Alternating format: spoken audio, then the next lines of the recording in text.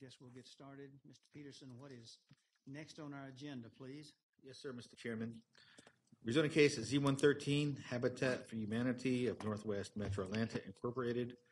Request rezoning from R20 to RA5 for the purpose of a residential subdivision in land lots 494 and 495 of the 18th District. The property is located on the southwest side of Hillcrest Drive at Brumby Cove Drive and on the east and south sides of Ridgefield Drive. Is the applicant present? Let the record show the applicant is here. Is there anyone here opposed to rezoning case Z113? Let the record show there's no one opposed. Would the applicant please come forward to be sworn in?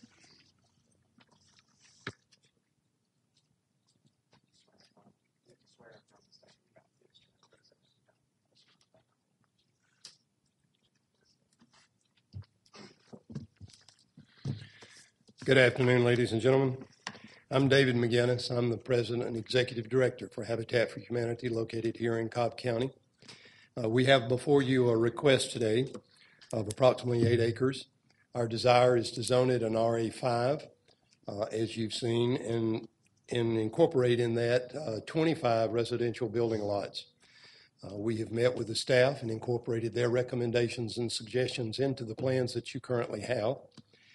I will tell you, we sent out the uh, respective number of letters to the uh, corresponding property owners around us. I have received four contacts. The first one was someone who wanting to sell their land on Hillcrest Road to me. Um, the other two were neighbors in Wilhelmina Drive who have sent uh, a letter that basically duplicates each other, and they express some interest that each of you, I think, you already have. Uh, the other, only other contact I had was late Friday afternoon with a gentleman calling me to speak to those points. And if you will allow me, I will speak to the respective points in the letter. In regards to the schools and the highways, let me remind you, if you're not aware, that the majority of the families we minister to are not moving into Cobb County. The majority of the families we minister to already live in South Cobb. We are providing them an opportunity to move out of the rental capacity into a homeowner's position. So the likelihood of us increasing with this subdivision, uh, more students in schools or more uh, cars on the highways is minute in that they're already there. Uh, the idea of uh, playing area, playing surface. In our subdivision, we will have a green space that's provided. And when I grew up, we played in our backyards. I'm not so certain that isn't still a good idea. Um, as terms of the other items, I will I'll jip, skip over one or two and speak to them last, if I may. There's always the question of we like what you do, but don't do it in my backyard. And I'm sorry that people have that attitude, but we deal with where we can afford the property. The organization has owned the back piece on Ridgefield for a number of years. I'm completing my third year in the organization, so it was there when I arrived. And the lady on the front, the, the small three acre piece that we purchased that fronts on Hillcrest, gives now the opportunity for us to put the two parcels together and provide the subdivision. So, in terms of the development, too many houses, I respectfully request that we uh, be granted the RA5, which is inconsistent with the subdivisions in and around the community. The resale value of our homes, typically our houses come in in the 130 and 100 to 40 thousand dollar range, which I believe currently would be commensurate with what's there. The other points that uh, that was spoken to in the letter addresses the fact that the people that we work with um, work and earn somewhere in the 30 uh, to 80 percent of the average income. And while I greatly understand the concern, that should not be a concern of our organization when we look to sell a piece of property. We do not give the property to these homeowners, we sell it to them. Granted, there is no interest in the loan, but they pay. And who are these people? These are rank and file of America. They are not the chief executive officers. They're not the ones sitting up on the platform. These are the ones that work in the mainstream, in the hospitals, in the other organizations. They're needing a hand up, not a handout. I will tell you, out of the mortgages that we carry, some 300, which equates to a sizable investment that we have. I carry less than 0.6% in past dues. These are hardworking individual families. We represent nine countries along with our country in the subdivisions that we have in Cobb County.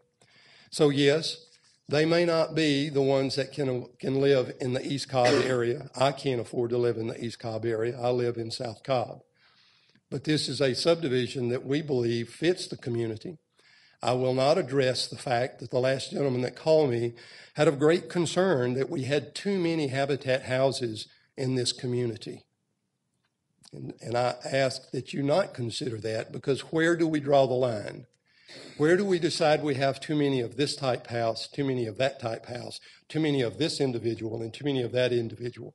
We should look at the request for the characteristics and criteria of its own standing. And so I come to you asking you to consider, and I'll be glad to answer any questions I can on the request for us to provide the 25 homes.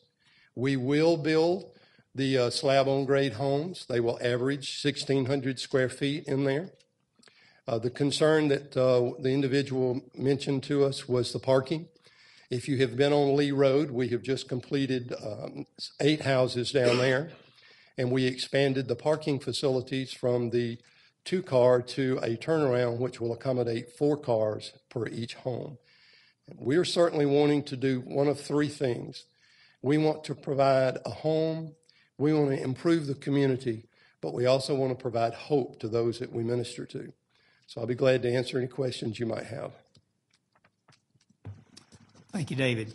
Um, anyone here wishing to speak to Z-113 opposition, come on up now. Have you been sworn in, ma'am? Yes. Okay, come on up.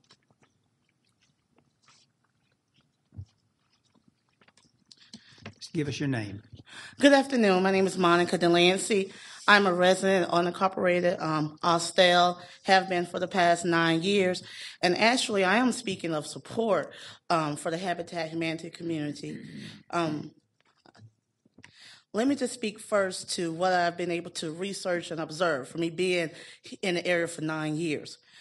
Pebblebrook High School is the main high school for that area. And Pebblebrook High School have approximately 24 transit communities that feed to Pebblebrook High School. That's including apartment complexes, trailer parks, townhome communities, and also rental property that's in the subdivisions. Okay? Pebblebrook High School have a transit rate of 40%. The students that attend Pebblebrook High School reside in communities such as apartment communities with rents averaging between for a two bedroom 500 to 800 dollars a month which is compatible to what a habitat, for humanity home would be if you're if you own a home.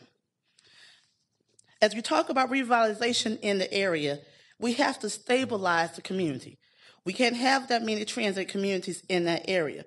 So that viable option will be a habitat for humanity um, home families have to renew their lease every year that reside in apartment com- um, communities.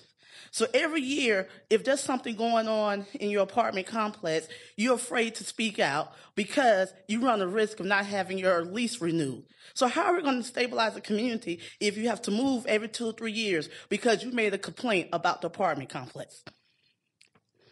What the Pebblebrook community needs is access to opportunities for home ownership.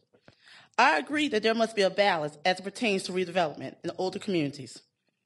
And, but we must be able to include everyone in the process. A Habitat for Humanity home uh, and a person that qualifies for a, a, a, a home would pay a mortgage for a home of three bedrooms, which would equal to be about what a two bedroom rental um, apartment would be. So I stress that we must be able to support the Habitat for Humanity model because this would benefit the community and empower and strengthen families. Thank you. Thank you, Monica. Anyone else wishing to speak to Z one thirteen? Okay, not seeing any. It's back to this board. Mr. Porter, this is yours, I believe. Okay, thank you. And in analyzing this, you know, we all certainly know who Habitat for Humanity is, and I think we all view, view it as a great uh, charity and a great mission that they do. Uh, But in zoning, we really need to look at, we're zoning the property, not the applicant. So, and, and in this case, we just need to treat this like we would any other zoning. Because essentially it is just another zoning. This is going to impact this property for the next 50 to 100 years, long after Habitat's no longer involved in it. And it's going to impact the entire community. So that's the way, the way I'm approaching this, just like we would for anybody else. And, you know, the, the increase in density with the current R12 zoning, uh, staff estimates that there could be 12 homes built on this property, and the request is for 25 homes. So that's more than doubling the density of the property. Uh, And, you know, it's been standard in every zoning case we've had in many, many years, as long as I've been here, and I'm sure as long as probably anybody else sitting up here has been here, is that when we go up in density, there has to be a benefit to the community to go up in density.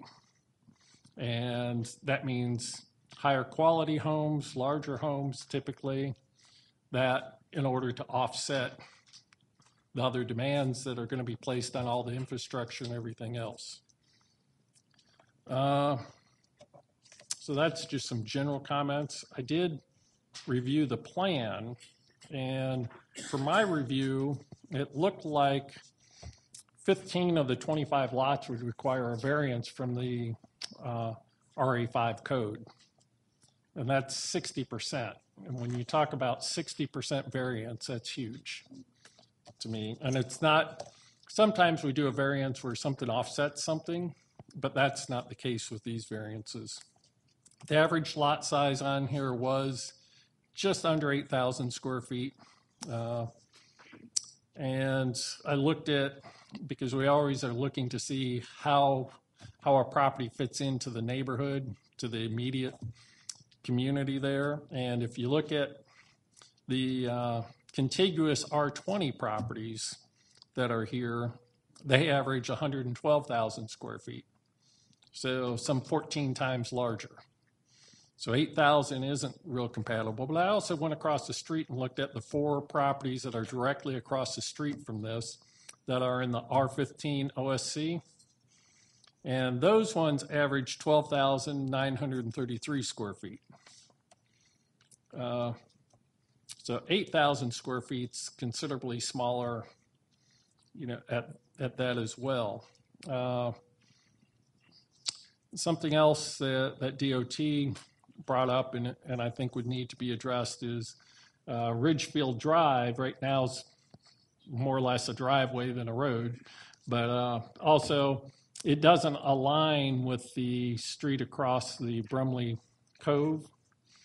And that's something that would need to happen if you're going to put more homes in here because you're going to create, you know, traffic issues and potential for accidents and that if you have this offsetting intersection. So that's something else. Uh, The plan does have some houses that are less than 20 feet apart, and the uh, fire marshal requires a, a space of guest parking not on, not on somebody's property, but, but off for every two homes that, that have less than 15 feet separation.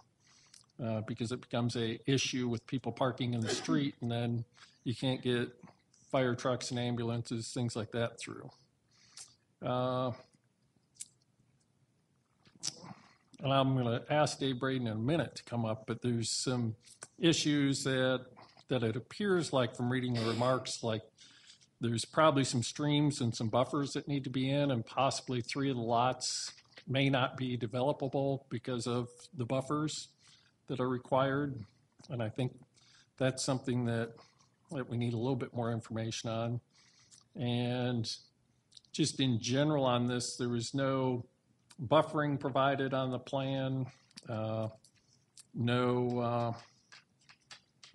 you know, screening for Hillcrest Drive to the backyards of the houses that we're going to go there, uh, things along that nature that are normally required when we're putting something more dense up against other properties. Uh, And also some side yard screening where it's at the corner, and you're going to be seeing the backyard there as well. Uh, I will comment that the future land use map is medium-density residential, so that would, you know, contemplate a higher density than our R20 being possible to develop this. Uh, But the RA5 plan we have in front of us just has too many variances, and I really think the look and feel of it's totally different than what's surrounding it. Uh, And that's why, you know, my, my thinking, I'm thinking R12, which is 12,000 square foot lots minimum, fits the look and feel and also fits the land use plan. And that may be something to, uh, to look at. Uh, With the house sizes, uh, average of 1600s, larger than what was really originally proposed, and I appreciate the applicant, you know, offering to go, to go larger. Uh, A lot of things that we normally get with, with these and what we've been pretty consistent with all our zonings for subdivisions that go up in density like that is 2,000 square feet and two-car garages. Uh, 50% brick or stacked stone on the, on the front elevation. And that, so that's a lot of it. I'd like to ask Dave Braden to come up for a minute, because I want to make sure we understand his comments regarding potential for a stream and, and if that's something we should get defined right now, because it affects the whole layout of the subdivision. Yeah, again, Dave Braden with the Stormwater Management Division. Uh, My comments reflect the fact that uh, the stream that runs through the middle of the site uh, is identified on the county stream buffer map as having a 50-foot buffer. However, I will say that um, it doesn't extend much past this site, and those stream buffers have not been field verified. So there's a chance that it could be, it could not be considered a, a- a state water or a county buffer, but Frank Gibson would be the one to have to make that determination. I will say that the channel is very incised through the site, so I wouldn't be surprised if it didn't have a buffer on it. But again, I can't make that call. But if it does, then it does impact the site design pretty well because they can't, they currently have the detention pond shown within that draw just below the road. And then another three lots are heavily impacted by that buffer. So if it is, if it is a buffer stream, then obviously they're going to be three lots. It'll probably wind up being one. And then uh, detention pond will probably, since the site is split kind of on both sides of the stream, of the creek, probably need to be a pond on each side. So it will, it will significantly impact the layout of the site. So again, it, it would, um, uh, if it gets approved to this plan or some reduced lot plan, then it probably will be, need to be revised at some point during plan review. But it might be a good idea to go ahead and maybe get that answer, question answered before, at least before the BOC hearing, or if you hold it now, get it answered before the next, next hearing. So. Okay, because in that, and would they hire an independent engineer to go out there and do that, or is that Uh, something they that? they that- can hire a, a, a, a stream specialist to do that, but Yeah. Frank would be willing to go out there and make that Okay. determination for them. So Okay, so we could, they could work with Frank the and, county staff, right? and, and get that taken care of, because that seems very important to this plan, because if we're zoning to a plan, there's a good chance that the detention's got to be totally different, the, you know, you can't put houses where they're planning to put houses right now because of stream buffers and that, that would make, you know, a very significant difference. And I think that's something that has to be looked at before we can really move forward on this, uh, myself. So, anybody else have questions for Dave or? Okay, do you have other questions? Go ahead. Well, I, it just strikes me that um, with that stream, you know, that water flowing through there and, and all the, uh, the buffers and so forth, is this potentially an OSC kind of a candidate? Yeah, guess if that you would be to a- restructure it. Uh, Well, we don't have our OSC expert here. I don't know if Jason's prepared to talk to OSC. Well, I mean, it's it's much got, or not, but but it's got some some space there that uh, you just can't build on. it, It may Yeah. be. It I mean, just and that may be Seems to me possible that like they it's a could look natural to at, be thinking about that. they could look at an R fifteen OSC, Right. you know, That's or, what's or an across the R street. twelve, you know, so Yeah. they, they have some options to look at that. I certainly think we need the lots to be more in that twelve thousand square foot Right. range rather than eight thousand, uh, given everything that's around this property. Uh, And that, so I Well, if think they went, that's, if they went to OSC, you know, there's no bottom limit on the size. yeah, but, But you could but as you specify know, minimum ten thousand or you know, something. we make- Yeah, we make the, uh, the determination as we look at them and review them then, so it's not a set and, set there.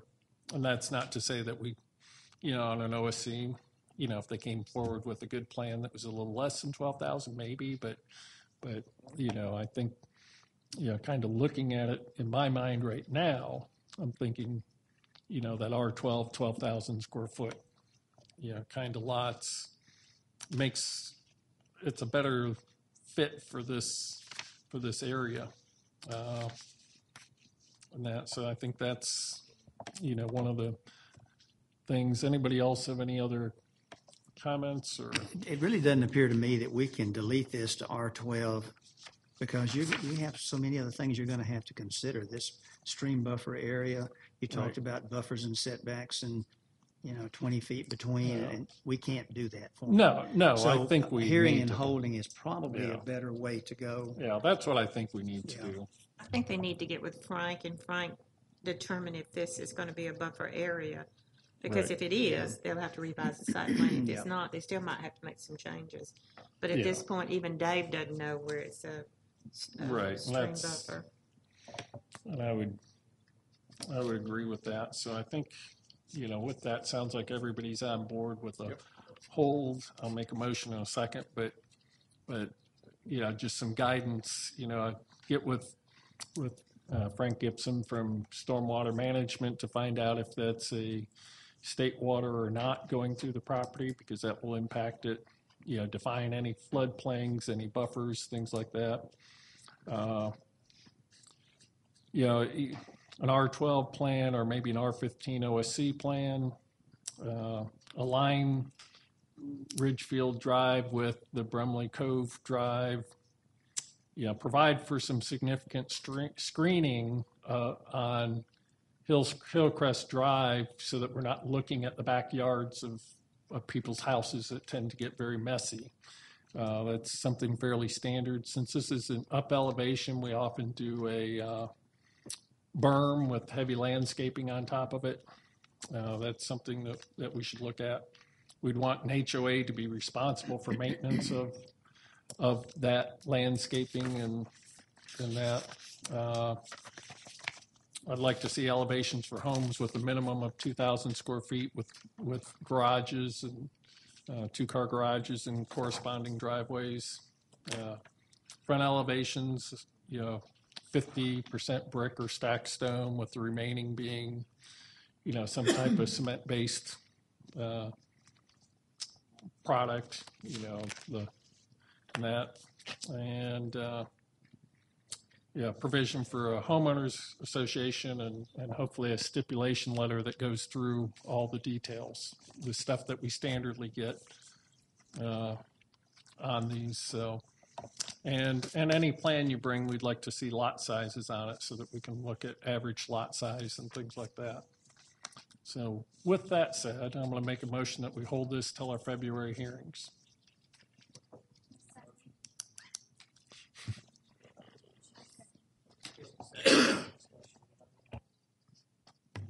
Okay, we have a motion, we have a second. Um, No further discussion, call for the vote. Said that passes five zero. So we're going to hold this one and hear it, pushing this one to February, eh? Another one, okay. February is going to be interesting. Thank you, folks. I'm going to be on vacation in February.